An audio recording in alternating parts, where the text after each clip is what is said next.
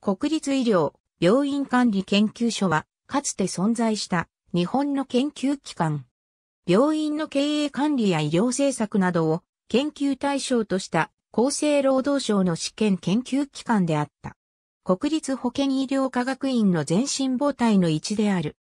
研究所があった富山研究庁舎1949年、厚生省設置法第23条により、東京都新宿区にあった当時の国立東京第一病院の4階の一室に病院管理研修所が置かれたのが始まりである。予算は措置されたが定員は措置されず、所長は国立東京第一病院院長の坂口安志蔵が併任し、所員は厚生省または東京第一病院の議官、事務官が併任した。研修所設置の背景には、GHQ のジョンソン大佐が1948年1月10日に出した病院管理設立構想がある。大尉は GHQ 関係者は日本の医療に満足しない。日本の病院の実情は欧州における中世紀のそれに等しい。病院改革の方法としては国立東京第一病院を東洋一の模範病院として、それに病院管理に従事する者の訓練機関を付属させるというものである。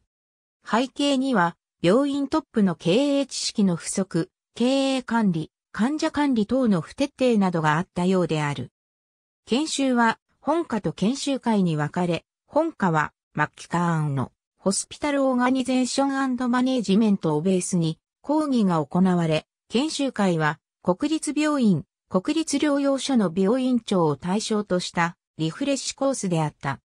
庁舎の建設は厚生省が予算要求を続けたが、大蔵省が認めず、1955年に日本医療団の生産財産によって、現在の新宿区富山1丁目21番13号の地に整備された。設計は、書院の小川武彦の手による1961年、病院管理研究所に改組され、経営管理部、建築整備部、庶務課の2部一課体制が確立する。翌年、医療管理部が設置されて3部一課体制となる。1970年に研究所の一大事業として、日本でそれまで類書のない病院管理の総書、病院管理体系が出版される。筑波研究学園都市の建設に伴い、病院管理研究所は国土庁の依頼で筑波における医療計画を作成する。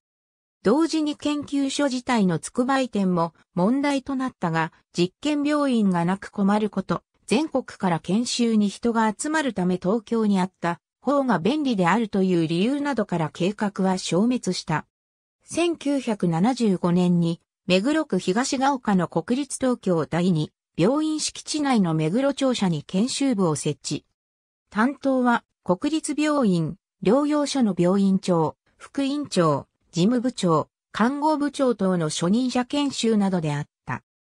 富山庁舎への移転計画、国立栄養研究所との三県合築、日本版 NIH 構想は1984年に発表されたが、地元では予見の移転反対運動が起こり、また建設予定地から人骨が発見されたり、着工した後も建築差し止め訴訟が起こるなど混乱は続き、移転したのは1992年8月の研究所改組後であった。1990年に組織改正を行い、国立医療、病院管理研究所となり、研究内容も政策がメインへと変化した。1992年に富山庁舎に移転、産研究所及び向かいに隣接する国立国際医療センターは連絡協議会を開くなど交流を密にしていた。行政改革の影響を受け、1995年1月に厚生省は8つの研究所を6つに再編する案を出した。東欧研究所は国立保健医療福祉政策研究所として国立公衆衛生院と統合する計画が打ち出された。2002年4月に国立保健医療科学院として国立公衆衛生院及び国立感染症研究所高校衛生部と統合、機能も埼玉県和光市に移転して現在に至る。国立東京第一病院独立庁舎と山庁舎、目黒庁舎、創立30周年記念誌2ページ、創立50周年記念誌43ページなど、2009年現在、建物は現存する。解雇と展望、創立30周年記念誌161ページなど、ありがとうございます。